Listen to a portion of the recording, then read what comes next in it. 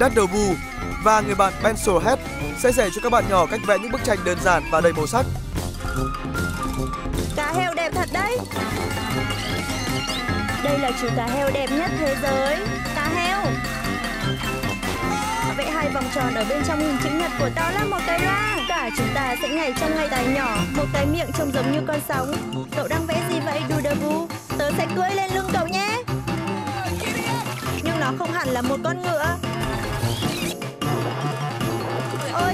Ngộ nghĩnh thế. Đó là một bông cải xanh.